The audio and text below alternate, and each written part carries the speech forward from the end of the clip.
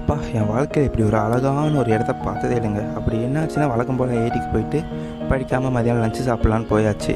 அப்படி போக சொல்ல வழியில் பார்த்தீங்கன்னா ஒரு மான் நின்று போஸ் கொடுத்துக்கிட்டு இருந்தது. என்னடான்னு போய் பார்த்தா கொம்புலாம் செம்ம ஷார்ப்பு ஸோ அங்கே பார்த்தீங்கன்னா அது யாரையுமே எதுவும் பண்ணல. உடனே தான் கொம்பு அவ்வளோ ஷார்ப்பாக இருந்தாலும். சரின்னு சொல்லிட்டு நானும் போய்ட்டு ரெண்டு தடவை தடையிட்டு வந்துட்டேன். ஸோ இந்த இடம் பார்த்தீங்கன்னா ஃபுல்லாக நேச்சர் தான். நேச்சரோட மனுஷங்க எப்படி வாழ்கிறதுன்னு சொல்லி தான் அங்கே ஐஐடியில் பண்ணிக்கிட்டு இருக்காங்க.